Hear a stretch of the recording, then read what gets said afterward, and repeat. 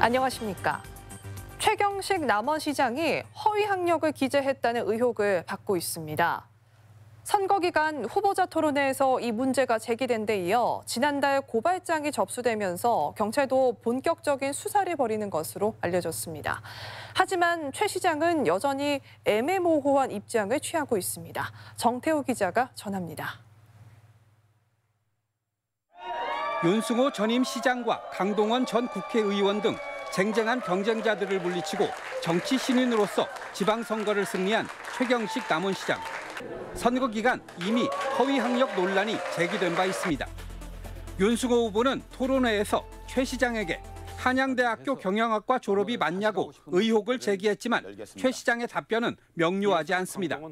음, 졸업한 선배들에게 물어보니 네. 동문 인명록에도 없다고 하는데 은- 몇 학번이며 어디 캠퍼스를 나왔습니까? 요즘 선거법은요. 네. 학력 잊으면 선거할 필요도 없습니다. 네. 그냥 아웃되는 거예요. 예.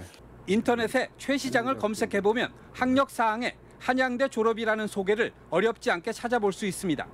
일부 온라인 백과사전에도 학부를 한양대에서 마쳤다고 공개돼 있습니다. 학력 논란은 또 있습니다. 자신을 소개하기 위해 배포한 명함에는 행정학 박사라고 표기되어 있지만 실제로는 소방행정학의 학위를 가지고 있습니다. 지난달 고발장을 접수한 경찰도 사실관계를 면밀히 들여다보고 있습니다. 선거 기간 본인 스스로 한양대 졸업을 명시한 보도 자료를 배포했는지 여부와 함께 시간과 장소를 특정하기 위한 체증 작업도 벌이는 것으로 알려졌습니다.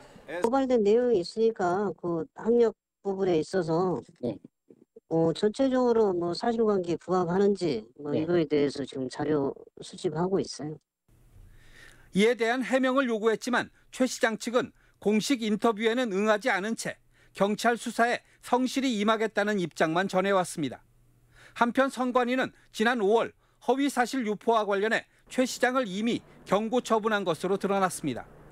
공직선거법은 허위 경력이나 학력에 대해 무거운 처벌을 명시하고 있고 그간 판례에서도 형량이 가볍지 않았던 사안인 만큼 경찰 수사 결과에 대한 관심은 갈수록 커지고 있습니다. MBC 뉴스 정태호입니다.